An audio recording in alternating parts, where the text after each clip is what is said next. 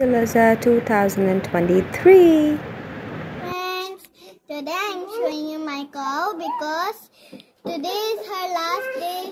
Tomorrow she will be sacrificed. Now let's see the cow. How is it?